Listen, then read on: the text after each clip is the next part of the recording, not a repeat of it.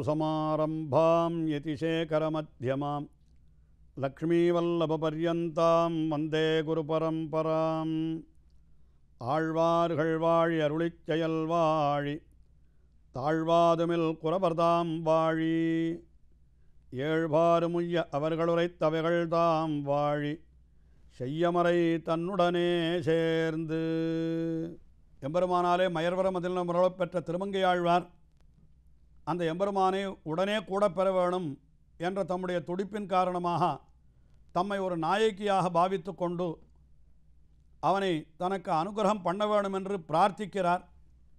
அவன் இன்னும் அனுகிரகம் பண்ணவில்லை என்று நினைத்து அவனை வற்புறுத்தி எப்படியாவது அனுகிரகிக்கும்படி செய்துவிட வேண்டும். என்பதற்காக நீ எனக்கு அனுகிரகம் செய்யவில்லை என்னால் நான் என்ன செய்வேன்? உன்னுடைய தாழ்ந்த செயல்கள் நீ செய்த தாழ்ந்த செயல்களை எல்லாம் உலகமெங்கும் பரப்பி உன்னுடைய பெருமையை நான் கொலைத்து விடுவேன் என்று எம்பெருமானை அச்சுறுத்துவது போல தற்காலத்தில் சொல்லுகிறார்கள் அல்லவா? பிளாக்மெயில் என்று. அதுபோல திருமங்கி ஆழ்வார் எம்பெருமானை என்ன செய்கிறார்? வடிம்பிடுகிறார் என்று சொல்லுகிறார்கள் ஆச்சாரியர்கள். அவனையே பயமுறுத்துகிறார். நீ எனக்கு அனுகிரகம் செய்கிறாயா? அல்லது உன்னுடைய பண்டவாளத்தை எல்லாம் எடுத்து வெளியில் விட்டுவிடவட்டுமா என்பது போல திருமங்கி ஆழ்வார் பேசுகிறார் என்றே சொல்லுகிறார்கள். அதெல்லாம் உரிமையின் பால் ஏற்பட்டது. அவர் அப்படி சொல்லவில்லை. சொல்லிவிடுவேன் என்று சொன்னார். அவ்வளவுதான். என்று தான் நாம் இங்கே பார்க்கிறோம். கீழே கூட அந்த கண்ணவில் தோள்காளையை கண்டாங்கு கைதொழுது என் நிலைமையெல்லாம் அறிவிப்பன். நான் என் நிலைமையெல்லாம் அறிவித்த பிற்பாடும் அவன் தன்னருளும் ஆகமும் தாரானேல். நான் என்ன செய்வேன்? அவன் அவனை ந- அவனை மிக உயர்ந்தவன் என்று சொல்லிக் கொண்டிருக்கிறார்களே. அப்படிப்பட்ட பெண்கள் நடுவிலே வேதியர்கள் நடுவிலே அரசர்கள் நடுவிலே உலகத்தின் நடுவிலே போய் தன் நிலைமையெல்லாம் அறிவிப்பன். அவனுடைய நிலைமை அத்தனையும் நான் சொல்லிவிடுவேன் என்று சொன்னார். உடனே எம்பெருமானே கேட்பான் என்ன கேட்பான் நான் என்ன அப்படி என்ன தாழ்ந்த செயல் செய்து விட்டேன்? அப்படி ஒன்றும் நான் செய்யவில்லையே என்று சொன்னால் அவன் அடியவர்களுக்காக தன்னை தாழ விட்டு கொண்ட செயல் செய்த செயல்கள் எல்லாம் இருக்கிறதோ இல்லையோ அது இந்த இடத்துல திருமங்கி ஆழ்வார் எடுத்து இதுவும் கூட ஒரு ரசமான அனுபவம் தான். உண்மையிலே இவை தாழ்ந்த செயல்கள் அல்ல. ஆனால் அடியவர்களுக்காக அந்த எம்பெருமான் தன்னை இப்படி தாழ விட்டு கொண்டு செய்த செயல்கள் அதைத்தான் இப்பொழுது சொல்கிறார் இந்த செயல்களெல்லாம் நான் வெளியிலே சொல்லிவிடுவேன் என்கிறார். எல்லாருக்கும் தெரிந்தது தான் இருந்தாலும் திருமங்கி ஆழ்வாருடைய அனுபவம் இப்படி விலக்கணமாக அமைகிறது.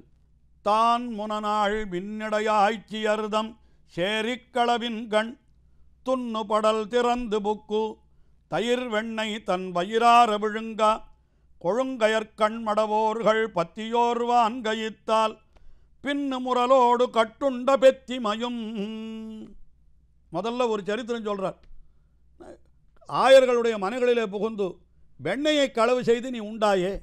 என்ன திருடி தின்றா என்னால் என்ன? அது ஒரு தாழ்ந்த சரித்திரம் தானே. அதை சொல்லுகிறார் மின்னடை ஆய்ச்சியர்தம் சேரி களவின்கள்.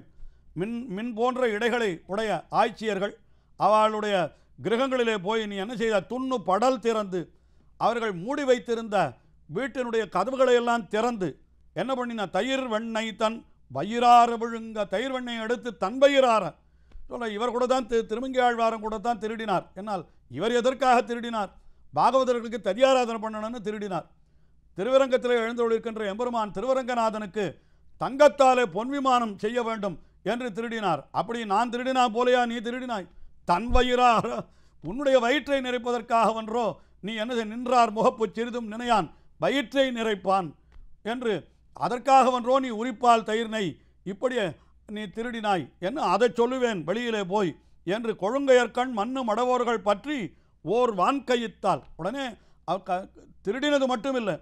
அந்த ஆய்ச்சியர்கள் இவனை கையும் களவுமாக பிடித்து உரலோடு கட்டுண்ட பெற்றிமையும் உரலோடு கட்டுப்பட்டு நீ கிடந்தாயே அந்த இழி செ- நிலை அதை வெளியிலே சொல்லுவேன் என்று முதல் சரித்திரம் சொன்னார். அடுத்த சரித்திரம் சொல்கிறார் பாருங்க. அன்னதோர் பூதமாய் ஆயர் விழவின் கண் துண்ணு சகடத்தால் புக்க பெரும் சோத்தை முன்னிருந்து முத்த தான் துத்திய தெத்தனவும். அன்னதோர் பூதமாய் என்கிறார் அதாவது கோவர்தன மலைக்கு இடுவதற்காக வண்டி வண்டியாக பிரசாதங்களை எடுத்துக்கொண்டு போனார்களாம் ஆயர்கள். அட்டுக்குவி சோற்று பருப்பதமும் தயிர்வாயும் நெய்யளறு மடங்கா என்று பாசன நன் நல்லன வண்டிகளால் புகப்பெய்த அதனையெல்லாம் போயிருந்து அங்கோர் பூத வடிவு கொண்டு என்று திருமங்கி ஆழ்வார் பெரிய திருமொழியிலேயும் அருளி செய்திருக்கிறார். ஆக இப்படி எம்பெருமான் என்ன செய்தான்? தானே ஒரு பெரிய வடிவை கொண்டு அவர்கள் இந்திரனுக்கு இடுவதற்காக வைத்திருந்த அத்தனை சோற்றையும் தான் உண்டு விட்டான். அதுதான் அந்த சரித்திரம் தனியாக சொல்லப்படுகிறது. அதை இந்த இடத்துல சொல்லுகிறார். இது நீ செய்த தாழ்ந்த செயல். என்ன சொல்கிற அன்னதோர் பூதமாய் அன்னதோர் பூதமாய்னா அன்னைக்கு எடுத்த பூதம். ஐயோ கண் கொண்டு பார்க்க முடியாது. அவ்வளவு கோரமான வடிவு. என்று இவர் சொல்லுகிறார். அன்னதோர் பூதமாய் ஆயர் விழவின் கண் ஆயர்கள் இந்திரனுக்கு எடுத்த விழவிலே விழாவிலே நீ என்ன செய்தாய்? என்றால் துண்ணு சகடத்தால் புக்க பெரும் சோற்றை துண்ணு சகடத்தால் என்னால் என்ன வண்டியில் வைத்து எடுத்துக்கொண்டு போனார்கள் பிரசாதங்களை என்னால் எவ்வளவு பிரசாதம் எடுத்துட்டு போயிருப்பாவா? எவ்வளவு உணவு? அத்தனையும் என்ன பண்ணினாய் நீ? முன் இருந்து முற்ற அவ கண் முன்னால பார்த்து கொண்டிருக்கிற பொழுது தான் தூற்றியது அப்படியே தான் எடுத்து உண்டானே தூற்றிய தெற்றனவும் தெற்றனவும் என்ன வெக்கங்கட்ட செயல் என்று அர்த்தமாக அது? வெக்கமே இல்லாமல் இப்படிப்பட்ட ஒரு காரியத்தை நீ பண்ணினாயே அதை வெளியிலே சொல்லிவிடுவேன் என்கிறார் திருமங்கை ஆழ்வார். மேலே அடுத்த செயல் அடுத்த சேஷ்டிதான் சொல்லுகிறார். மன்னர் பெரும் சவையுள் வாழ்வேந்தர் தூதனாய் தன்னை முன முனநாள் சென்னதுவும் மண்ணு பரகரங்க மங்கையர்தங்கண்களிப்ப கொன்னவிலும் கூத்தனாய் பெயர்த்தங்குடமாடி எண்ணிவன் எண்ணப்படுகின்ற ஈடறவும். சொல்றார் ரெண்டு சரித்திரம் சேர்த்து சொல்றார். என்ன சொல்றார் மன்னர் பெருஞ்சவையுள் வாழ்வேந்தர் தூதனாய். தூதனா போவாளா யாராவது? தூதன் என்னால் ரொம்ப இழித்தொழில் என்று சொல்லுகிறார்கள். இன்னொருத்தனுக்கு வேலைக்காரனாத்தானே போனாய் நீ. அங்கே போய் என்ன சொன்னாய்? தன்னை இகழ்ந்துரைப்பா. எல்லாரும் அங்கே இருக்கிறவாளெல்லாம் இவனை இகழறாளாம். இப்படி வந்திருக்கான் பார். பாண்டவர்களே ராஜ்யத்தை இழந்து நாடோடியாக அலைஞ்சு கொண்டிருக்கிறார்கள். அவர்களுக்கு இவன் வேலைக்காரனாம் என்று இப்படியெல்லாம் சொல்லுகிறார்களாம். தன்னை இகழ்ந்துரைப்பத்தான் முனநாள் சென்றதும் இப்படி நீ தூதனாக இழித்தொழில் செய்தாயே அதை சொல்லிவிடுவேன். அது மட்டும் இல்லை முன்னர் நீ சிறுவனாய் இருந்தபொழுது இளம் பருவத்தில் இருந்தபொழுது என்ன பண்ணினாய்? மண்ணு பறைகரங்க மங்கையர்தம் கண்களிப்ப பெண்களெல்லாம் பார்த்து மகிழும்படியாக பறையை அடித்துக்கொண்டு நீ என்ன பண்ணினாய்? கொன்னவிலும் கூத்தனாய் கூத்தாடினாய். பெண்கள் முன்னால் கூத்தாடினாய் நீ. என்ன பண்ணினா பெயர்த்தும் குடமாடி. எண்ணிவன் எண்ணப்படுகின்ற ஈடரவு. எண்ணிவன் என்றப்படுகின்ற ஈடரவுன்னு அர்த்தம்? மிகவும் தாழ்ந்த நிலை. இவன் இப்படிப்பட்டவன் இப்படிப்பட்டவன். என்று எல்லாரும் சொல்கிற பெண்கள் முன்னால் போய் கூத்தாடுறவன்னா இவன். என்று சொல்லுகிறார்களே அதையெல்லாம் நான் சொல்லிடுவேன் எல்லா இடத்திலும். அப்படின்னு அதை சொன்னார். அதற்கு மேலே ராமாவதாரத்து கிருஷ்ணாவதாரத்தில் இந்த மாதிரிலாம் நிறைய இருக்கிறது வாஸ்தவம் தான் ராமாவதாரத்தில் இந்த மாதிரி அபச்சரித்திரங்கள் எதுவுமே கிடையாது. ஏன்னு சொன்னாலே அப்படின்னா ஏன் கிடையாது? ஒரு பெண்ணினுடைய காது மூக்கை அறுத்தாயே அது தாழ்ந்த செயல் இல்லையா? சொல்லுகிறார் அது. தென்னிலங்கையாட்டி அறக்கர் குலப்பாவை மன்னனிர் ஆவணந்தன் நல் தங்கை வாழையத்து துண்ணு சுடுசினத்து சூர்பனகாச்சோர் வெய்தி பொன்னிறங்கொண்டு புலர்ந்தெழுந்த காமத்தால் தன்னை நயந்தாளைத் தான் முனிந்து மூக்கறிந்து மன்னிய திண்ணனவும் வாய்த்த மலை போலும். என்ன சொல்கிறார் தென்னிலங்கை ஆட்டி. ஆனால் தெலுங்கு தென்னிலங்கை ஆட்டின்னா என்ன அர்த்தம்? ரா- ராவணன் தன் நல் தங்கை. ராவணனுடைய நல்ல தங்கை. தென்னிலங்கை ஆட்டினா என்ன அர்த்தம்? ராவணன் கூட ராஜ்யத்தை ஆளலையாம். அந்த லங்கையை ஆட்டி வச்சவது இவள் தானா யார்? சூர்பனகை. அவள் இடத்துல அதிகாரம் அத்தனையும் இருந்துதான். மன்னனி ராவணன் தன் நல் தங்கை. வாழையிற்று துண்ணு வாழையிறு கோரைப்பல்லை உடையவள்.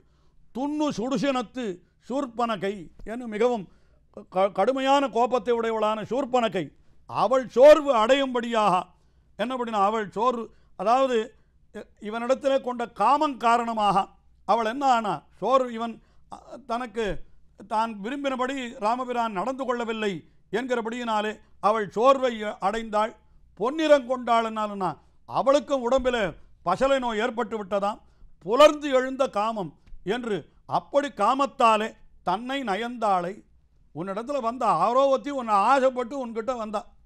ஆசைப்பட்டு வந்த பெண்ணை நீ என்ன பண்ணணும்?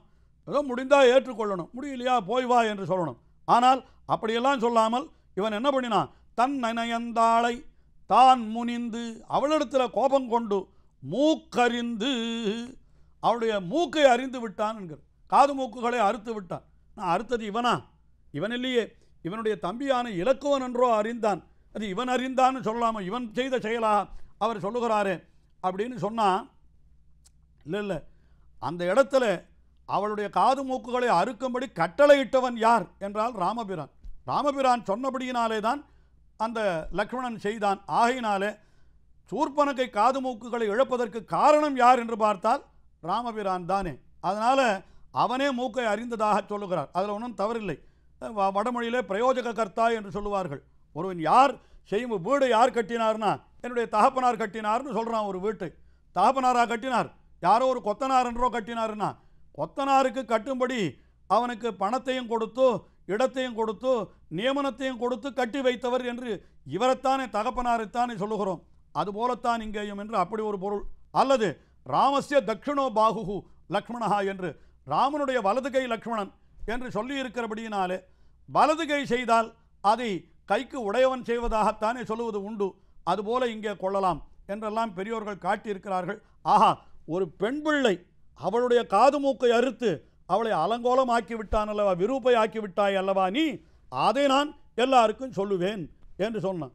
அப்பவும் கூட அந்த பெண் பிள்ளையை நான் கொல்லவில்லையே. சொல்லலாம் இல்லையோ? ஏதோ அவள் என்னை மிகவும் துன்புறுத்தினாள் என்னுடைய மனைவியும் விழுங்க வேண்டும் என்று அவள் ஓடி வந்தாள். ஆயினாலே அவளை துரத்துவதற்கு வேறு வழி தெரியவில்லை. ஆயினாலே அவளை நான் அப்படி மூக்கறிந்தேனே தவிர வேறொன்றில்லை என்று இவன் சமாதானம் சொல்லிவிடக் கூடுமே. அதனால் பார்த்தார் இங்கே பெண் பிள்ளையை காது மூக்கு மட்டும்தான் அறிந்தாய். ஆனால் இன்னொரு பெண் பிள்ளையை நீ பதமே செய்து விட்டாய். ஒரு ஆண் புருஷனாய் கத்திரியனாய் வீரனாய் இருக்கிறவன் பெண்ணை கொல்லக்கூடாது என்று தர்மம் சொல்லுகிறது. அப்படி இருந்தும் கூட ஒரு பெண்ணை நீ கொன்றாய். அதையும் நான் எல்லாருக்கும் சொல்லிவிடுவேன் என்று மேலே தாடகை வதம் செய்த அந்த நிகழ்ச்சியையும் சொல்லி அதற்கு மேலே இந்த திவ்ய பிரபந்தத்தையும் நிறைவு செய்கிறார் திருமங்கை ஆழ்வார். தொடர்ந்து அனுபவிப்போம். ஆழ்வார் எம்பெருமானார் ஜீயர் திருவடிகளே சரணம்.